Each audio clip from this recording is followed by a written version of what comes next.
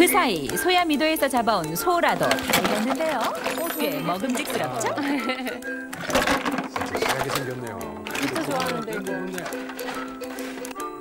아, 이렇게 쏙 가서 먹으면 맛있죠. 초장딱 찍어. 네. 염으로다가 씻어서 먹어야 맛있어. 한번 먹어봐요. 염으로는 뜨거워 조심해서 먹어요. 이거 쫄깃하고 맛있을까요? 쫄깃한 맛이 이렇게.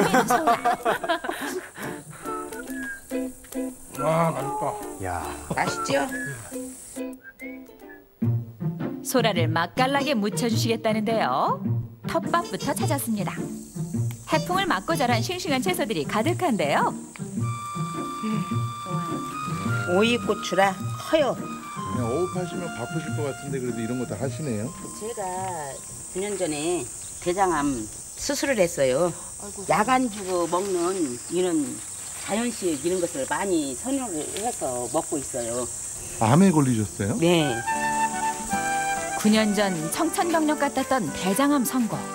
그러나 희망의 끈을 놓지 않기 위해 참 부단히 노력했던 엄마입니다. 여기는 뭐예요? 여기는 효소. 그 후론 무엇이든 길러 먹고 담가 먹고 건강에 신경 쓰게 되었다는데요. 서로의 곁을 지켜주기 위해 마음도 몸도 참 고생 많았던 부부입니다.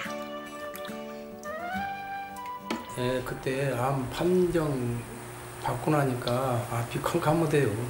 나는 이거 남의 일로만 생각했거든요. 근데 막상 그러한 일이 나한테도 닥치는구나. 그런 생각이 들고. 한 마음으로 병마와 싸워 이겨낸 부부. 이제는 보통 사람들만큼 건강해졌으니 더 이상 바랄 게 없다는데요. 다시 건강해져 이렇게 밥상을 차릴 수 있으니 이보다 더한 기쁨이 어디 있을까요? 이 섬에서 엄마는 참 행복합니다. 맛있겠다. 오전에 잡아온 갑오징어는 아직도 싱싱한데요. 먹물 막 어. 진짜 많이 나오네요. 밥을 빼고. 먹물이 많아요. 그리고 네. 이 먹물이 그냥 먹물차 삶아서 먹어도 오. 같이 삶아서 먹기도 해요. 지금은 객지에 나가 있는 삼남매가 가장 좋아하던 음식. 물질적으로는 부족했을지 몰라도 사랑만큼은 부족함 없이 주었던 부부. 잘 자라준 아이들이 참 고맙습니다. 지금은 엄마를 이제 자랑스럽게 알지요. 이제 한 번 아프고 나고 지내들도 이제 엄마라는 생각을 또 다시 하는 것 같아요. 음. 잘해요 애들이. 중한 줄 알아요. 엄마 부모가 중한다는 것을 알고 있어요.